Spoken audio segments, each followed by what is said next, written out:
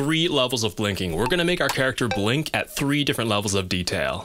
Level 1. Select one frame on both layers of the two eyes, and then use F6 to convert it to a keyframe. And then select a frame about 4 frames later, and convert that to a keyframe. We can go back to the earlier keyframe and swap both eyes with the closed ones. If we move our playhead forward, we actually don't need to reset our eyes back open, because we've stored that in the keyframe that we've made. It's something that's recognizable as a blink. I want to give you another rule of thumb, which is that the line of your closed eye should be at about the same height or below the bottom bottom edge of your open eye. I'm gonna find this button, onion skin. If we click on it, we've got these two lines. All the frames that are between those lines show up as guides. So using these open eyes as a guide, I can actually move this down. It's like how a mouth closes with the jaw coming upward. You could definitely make both edges come together in the middle, but giving it a more general direction just makes it easier to understand. So our eyes are following the general motion of going downward when they close. On to level 2. Add another keyframe, two frames before, and then use the arrow keys to nudge them down a little bit further. Then we'll go to where the eyes are closed and we'll put a keyframe, and we'll go back to the frame where they're first closing. We'll select those frames, and then use the arrow keys to push them down a little bit further. And I should just keep onion skin enabled. Alt Shift O. Find the keyframe where the eyes open back up again, and put a keyframe two frames after that. If we go back to the original open eyes keyframes, which is this one right here, and if we nudge the eyes upward a bit,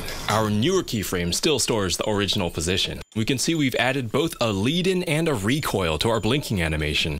Level 3. We'll start by turning these in-between keyframes into endpoints for our tween. So drag this first keyframe so that it's touching the following keyframe. Then we'll add a new keyframe about 5 or 6 frames before the first one. Then you'll remember that we have two keyframes of our closed eyes. We'll find the keyframe where they open up and drag it backwards so that it's touching the eye closed keyframe that's right before it. Now we've made three different spaces for three different tweens. Create a classic tween and make it cubic ease in. Then another cubic ease in. Finally, cubic ease out. And with that, you now have three different ways to set up a blink.